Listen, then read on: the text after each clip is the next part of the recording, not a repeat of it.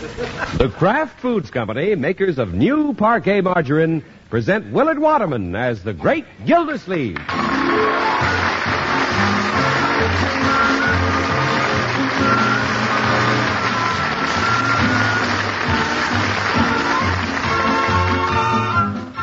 The Great Gildersleeve is brought to you, partially transcribed, by the Kraft Foods Company.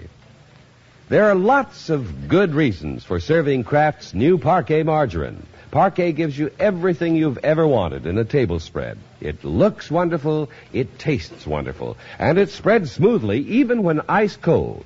Now, there's still another reason for buying Kraft's new Parkay regularly. With every pound, you can order a pair of famous Powers model nylon stockings at half price. I'll tell you more about Parkay Margarine's sensational offer in just a few minutes.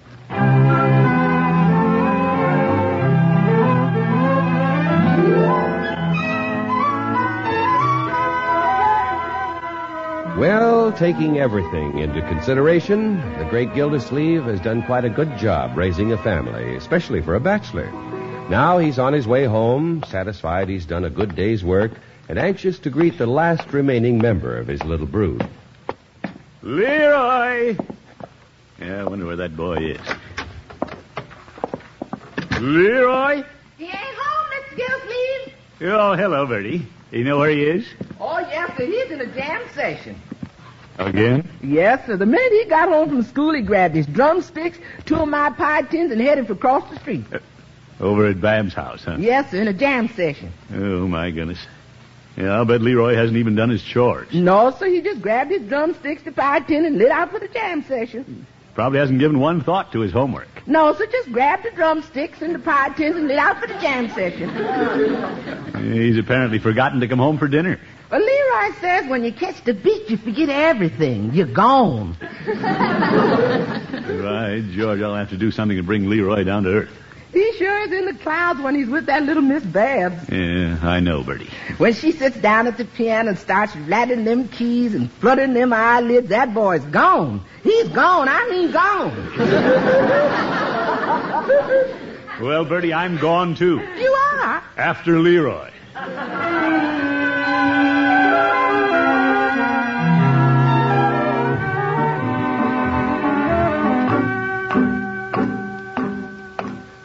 And Babs is a pretty little girl. But if I don't call a halt to this bebop business, first thing I know, Leroy will be wearing a beret and a goatee. It. Listen to that. Hmm, sounds like somebody threw a music box into a cement mixer. Well, I'll take care of this. Oh, for they can't even hear the doorbell. Leroy, break it up! Imagine the nephew of a man who sent his daughter to the Metropolitan Opera making noises like that. Oh, hello, Mr. Gildersleeve. Hello, Babs. I take it Leroy's here. Uh huh. We're having a dreamy session. Come on in.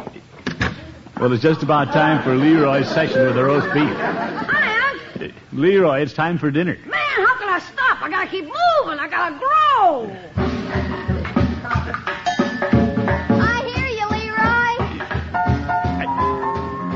Babs, do you think you should be doing that to such a good piano? I'll you ought to hear Babs sing. Yeah, well, uh, some Come other on, time. Babs, take off with those crazy words. Yeah, but Leroy, I, Boy is at the Chattanooga Choo Choo. yeah, Babs, you don't have to do. Track 29. Boy, You can give me a that's cool, man. I can afford to board the Chattanooga Choo Choo. I've got my fare and just a trifle to spare. Yeah, well, that's very nice, but uh, You leave the Pennsylvania station about a quarter to four. Yeah. Read a magazine and then you're in Baltimore. Dinner in the diner, nothing could be finer than to have your ham and eggs in Carolina. When Oh, you hear well. the whistle blow and eight to the bar, then you know the Tennessee is not very far. Shovel all the coal and got to keep it rolling. Woo woo, Chattanooga, there you are.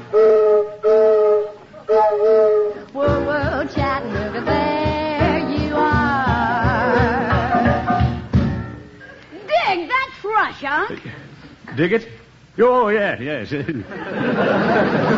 very good, Babs. Thank you, Mr. Gildersleeve. I've really worked hard to make good. Oh? I spend most of my time training for my career. Yeah, me too. Your careers? Mm hmm I'm going to be a singing star, and Leroy's going to be my drummer. Yeah, come on, Babs. I gotta keep moving. Leroy! Okay. We have to go. Let's not forget our little duties and chores. There's the homework. Oh, Mr. Gildersleeve, that sounds so dull. Yeah, Unc, we got our careers to think about. I'm gonna be the best skin man in the business. Oh, We're gonna work up an act and take it on the road. Leroy, you're going to hit the road right now. But, Unc, Young man, pick up your sticks and beat it across the street. oh, for corn's sake.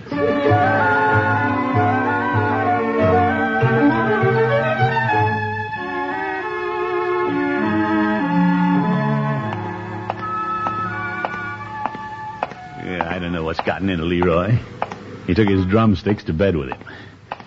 Beating time on the bedposts. Wish I'd known that's what it was before I got up in the middle of the night to see who was knocking on the door. Oh, well. It's the Babs influence. Say, Peavey has kites in the window. Hello, Peavey. Yeah, hello, Mr. Gildersleeve. what can I do for you this morning? Peavey, I see you've changed your window display. Well, winter's breaking up, so I took out the hot water bottles and put in kites. Now all you need to push sails is a big wind. Care to volunteer, Mr. Gildersleeve? All right, Peavey. Leroy was in this morning for some adhesive tape. Adhesive tape? Seems he got a blister from twirling his drumsticks. That boy. I have a little problem there, Peavey. You don't say. Uh, Babs has him spending. Babs has him spending too much of his time in jam sessions. Leroy's even talking about going on the road, making it a career. My, my. Peavey, I don't like the idea of the boy ending up a grasshopper with a snare drum. I doubt if a grasshopper could do what Leroy did here the other day. Oh? He lined up a row of water glasses and tapped out quite a tune. Reminded me of a fellow who used to come in the store and sit all day drinking cherry phosphates and playing the sweet potato. That was an ocarina, Peavey. And that's what the squares call it. Yes, yes. He figured he was going to set the world on fire with that sweet potato. Uh, what's he doing now? I think he's digging them in Oklahoma. Well, I don't doubt it. I wish I could convince Leroy he's wasting his time. Yeah, Babs is a pretty little girl. Yeah, I know that. You'll have to admit she's a little flighty. Now, if I were Leroy, I'd pick some girl a little more serious-minded. Well, I would. You take little Clara Pettibone, for instance. She comes from a cultural type family. yes, she does. Mrs. Pettibone always has her picture on the society page. And Clara likes Leroy. She always sends him a valentine. And she invited him to her cello recital at the women's club last month. Leroy wouldn't go. I don't blame him. Now, Peavey, that's exactly what Leroy needs. Exposure to the finer things. As the twig is bent, so grows the tree. Yeah, you just have to be sure you're bending the twig in the right direction. Well, I know what's best for Leroy. By George, I'm going to maneuver it so Leroy spends more time with Clara Pettibone. Now, it's not too easy to pick someone else's friends for them. Well, once Leroy has had a chance to compare the two girls, I'm sure he'll choose wisely, the way I've always done. I've been pretty smart about picking my feminine companions. no, I wouldn't say that.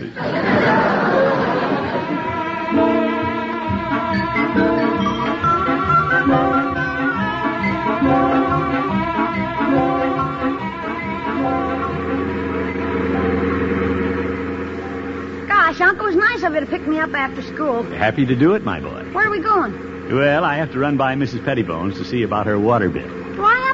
Do I have to go? I'm supposed to meet Babs. Oh, uh, Babs can wait, Leroy. Come along. Do I have to go in? You want to sit out here alone and be unsociable. Yes, I do. But Mrs. Pettibone hasn't seen you for a long time. She never sees me anyway. She has her nose so high in the air. Leroy, out of the car. Okay, gosh. And brush the hair out of your eyes and shake the dust off your blue jeans watch you and Mrs. Pettibone haggle over a water bill? Who knows? You might see little Clara. Though, for corn's sake. Leroy, Clara is a very attractive young lady. Yeah, but she's such a king size square. Leroy.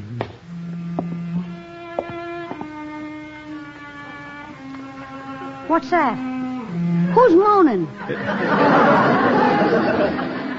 well, sounds like music to me. That's music? It's probably little Clara practicing one of the classics on her cello.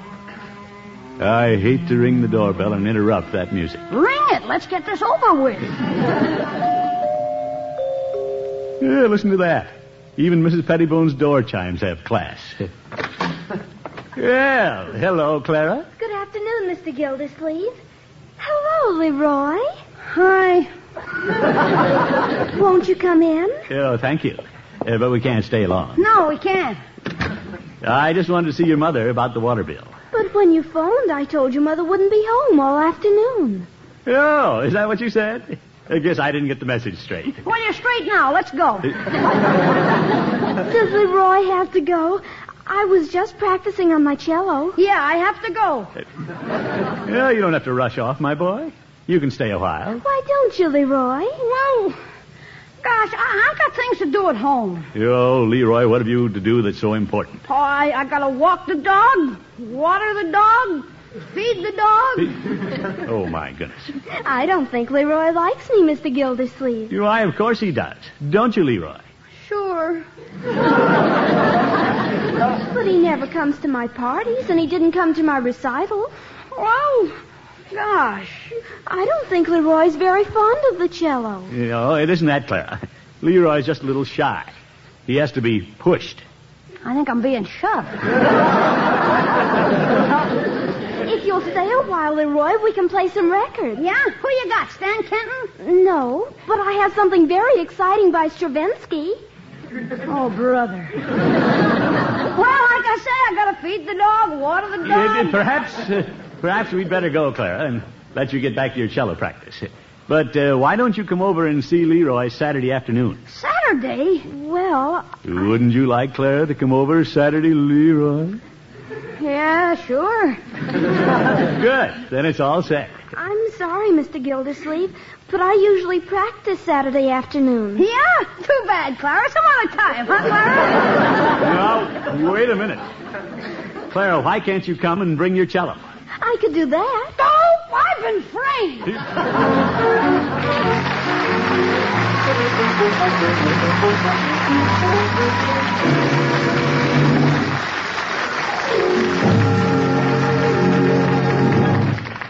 The Great Gildersleeve will return in just a moment. Just a month ago, I first announced new Parkay Margarine's wonderful offer to send you Powers Model nylon stockings at half price. And believe me, things have been happening ever since. Women are really rushing in their orders, and the same women are reordering three or four additional pairs once they see what a remarkable value this is. Just imagine getting first quality Powers Model nylon stockings at half price. Only 75 cents a pair instead of $1.50. These beautiful nylons were designed by John Robert Powers to flatter the legs of America's most glamorous models. They're 51 gauge, 15 denier, and they have a flexible top and tapered heel for perfect fit. A famous testing laboratory reports these Powers model nylons are the equal in quality and durability to nylons selling regularly at $1.50. But you can order as many pairs as you want for only 75 cents and the yellow end flap from a package of Kraft's Parkay margarine for each pair ordered. You have a choice of two popular shades and either a dark seam or a self-color seam. Complete instructions for ordering are given inside every package of Kraft's Parkay margarine, the delicious new margarine that spreads smoothly even when ice cold. Tomorrow, be sure to get Parkay so that you can begin building your luxurious wardrobe of nylon stockings at half price.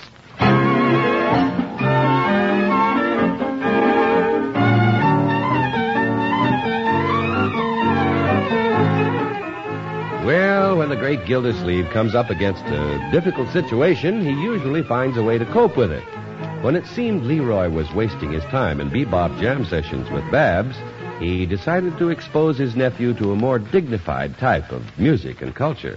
What do you think of an uncle that'll put you in a spot like that, Birdie? You mean she's coming over here Saturday and bringing that cello? Yeah. Unc invites her, and I'll be stuck with her all afternoon. It isn't as bad as he makes it sound, Birdie. Little Clara is just like her mother. Yes, sir. And you know how she's respected. Everybody in town takes off his hat to Mrs. Pettibone. Made better or she'd knock it off with her parasol. Leroy, you don't realize what a nice thing I'm doing for you. What's this? Unc, you know you'd never spend an afternoon listening to some girl saw away on the cello. My boy, when I was growing up, I didn't have an opportunity. Some guys have all the luck. And I've regretted it. My musical knowledge consists pretty much of singing with the Jolly Boys. Gosh, a whole afternoon with Clara. What do we talk about? Talk about symphonies. I don't know anything about symphonies. Well, if you run out of things to talk about, ask Clara to play the cello. I'll think of something to talk about. Believe me, Leroy, you'll come out of this experience a much richer person. You mean you're going to pay me? No. now, let's not discuss it any further. You just see that Clara has a pleasant afternoon. And if it'll make you feel any better, I'll sit around with you. Now, that's fair, isn't it, Birdie? Yes, sir. Mr. Gilsleeve, you sure have changed. What's this? a while back you were singing barbershop with the Jolly Boys, and now you gone long hair. Yeah, maybe I have. Yes, sir. A while back Mr. Gilsleeve was strictly barbershop, he's gone long hair. Yeah, all right, Birdie. Mr. Gilsleeve, you know where you gone? Yes, Birdie. That's right. Instead of barbershop, you gone long hair.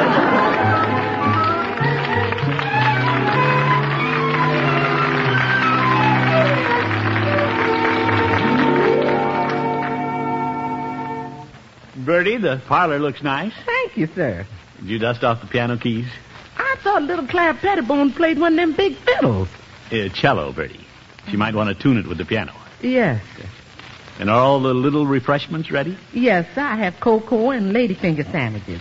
Yeah, ladyfinger sandwiches sound just about right. I want to run this off like a regular musicale. Oh, yes, sir. I'm doing my best to make everything stuffy. now, Birdie. By the way, Clara's due any minute. Where's Leroy? I ain't seen him since he put on his blue suit, and he sure look blue. Well, blue or not, I'm glad he's dressed up. I want Clara to take home a nice impression to Mrs. Pettibone. Yes, sir. Where is that boy? Leroy!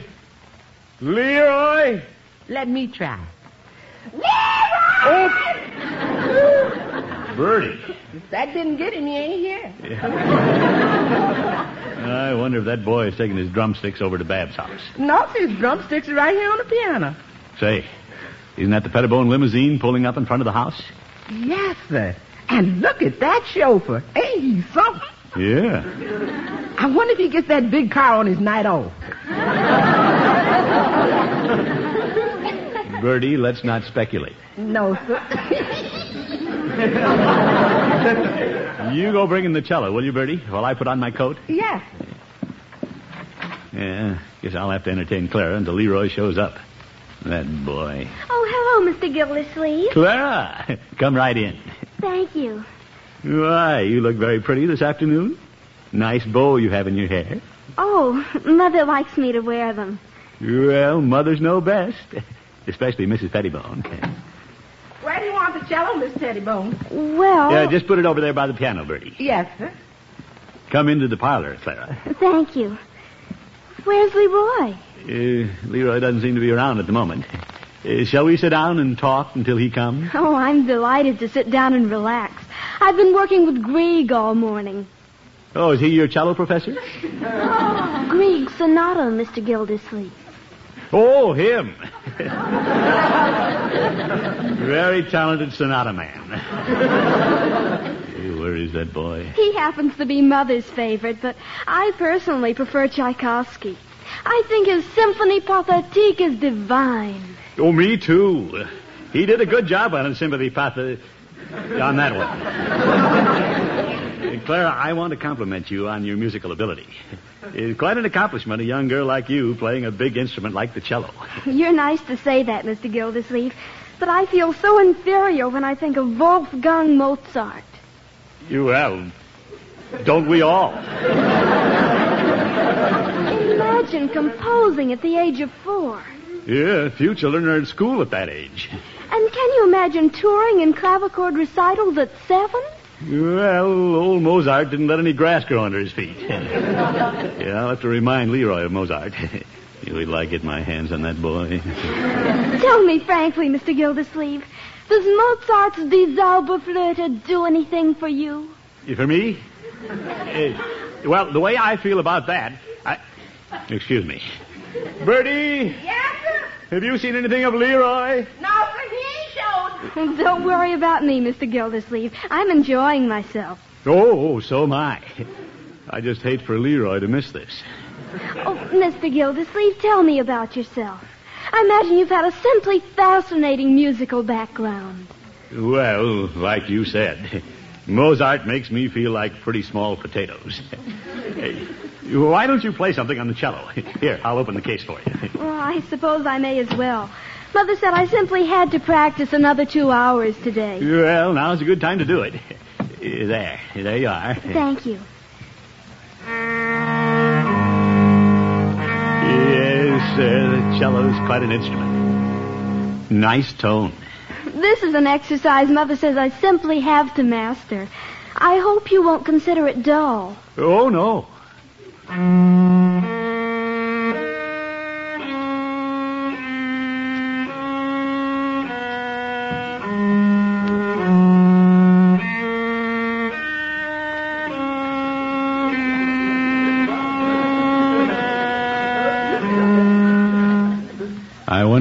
Right in forcing this on Leroy.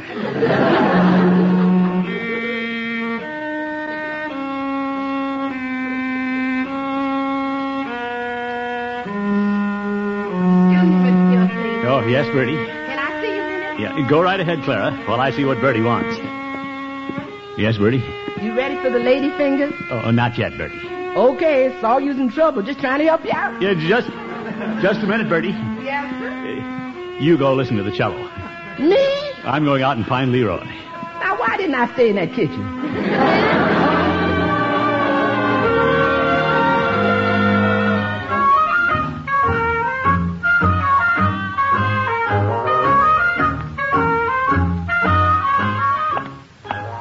I just had to get out of the house. And I don't blame Leroy too much for not showing up. But I've got to find him. He wasn't at Bab's place. Yeah, I'll try Peavey's. Hello, Peavey. Oh, hello, Mr. Gildersleeve. Peavey, have you seen anything of Leroy this afternoon? Yes, he was in here just a little while ago. He was? Which way did he go? He went that way. Oh, my goodness. Peavey, this is important. Did he say where he was going? No, he and Babs had their faces stuck in a soda. Oh, so Babs is with him. Peavey, he's supposed to be home this afternoon. Little Clara Pettibone came over and brought her cello. You don't Leroy shouldn't do a thing like this. How can I explain this to Mrs. Pettibone? She'll be offended. Yes, I suspect she will. And that poor Clara. She'll be embarrassed, having Leroy ignore her and go off with some other girl. And I've got to find that boy. Yes, you can't help feeling sorry for Clara. Yeah, she seems to have nothing in common with children her own age. And she's too intelligent to talk to adults. Excuse me while I answer the phone. Yeah, go ahead. I have to be on my way anyway. Peavey's Pharmacy. Yes? Oh, just a minute. Mr. Gildersleeve. Uh, what? It's for you, Birdie. Oh? Yes, Birdie? Mr. Gildersleeve, Leroy's home. Well, fine. I'm not so sure. Babs is with him. Uh-oh. She's at the piano, and Leroy's got his drumsticks using Miss Pettibone's cello for a snare drum. Zip. What's Clara doing? She ain't fainted yet, but I'm standing by. Well, hold the fort, Birdie. I'll be right home.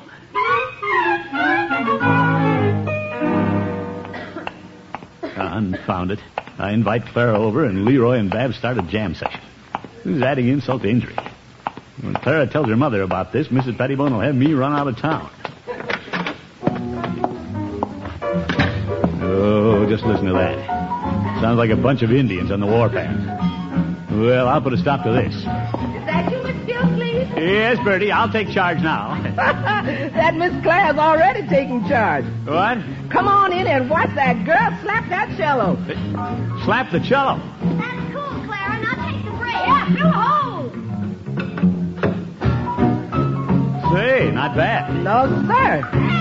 Uh, Clara, well, what's going on? Join in, Mr. Gildersleeve. We're blowing up a storm. Uh, no, no, you go right ahead. Birdie, It's not the kind of storm I thought it was going to be. No, sir, they're all getting along fine. Yeah.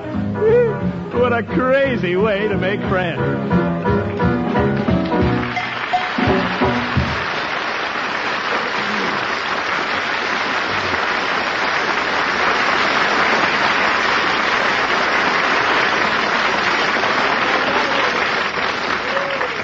The Great Gildersleeve will be right back. Next time you're shopping, pick up a pound of Kraft's new Parkay margarine. On the package, you'll see a truly remarkable offer. A chance to get famous Powers model nylon stockings at half price. They're 51 gauge, 15 denier nylons, and guaranteed first quality. And you can get them for just 75 cents with a yellow end flap from a Parkay package. Get Parkay tomorrow, Kraft's delicious new margarine that spreads smoothly even when ice cold.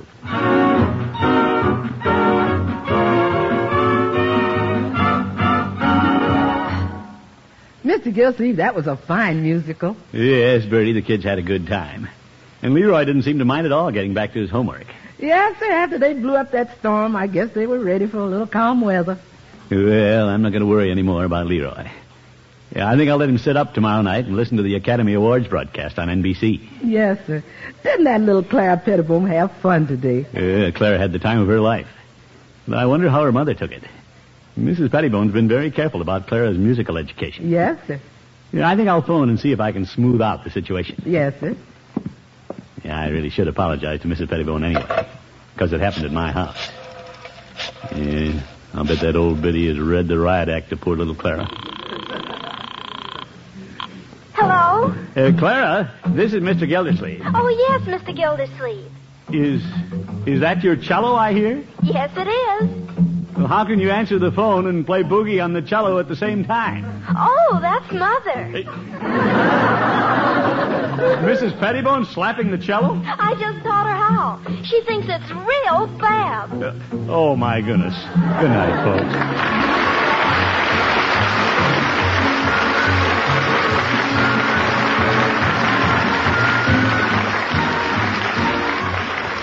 The Great Gildersleeve is played by Willard Waterman. The show is written by John Elliott and Andy White and partially transcribed. Included in the cast are Walter Tetley, Lillian Randolph, Barbara Whiting, Ann Whitfield, and Dick LeGrand. Musical compositions by Jack Meakin. This is John Heaston saying goodnight for the Kraft Foods Company, makers of the famous line of Kraft quality food products. Be sure to listen in next week and every week for the further adventures of the Great Gildersleeve.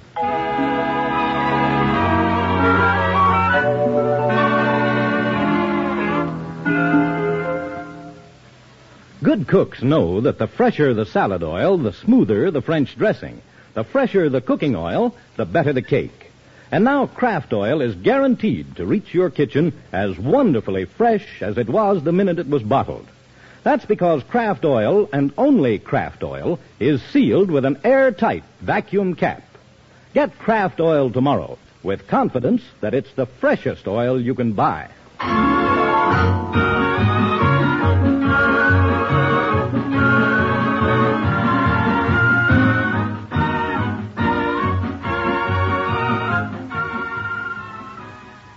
Tonight, play You Bet Your Life on NBC.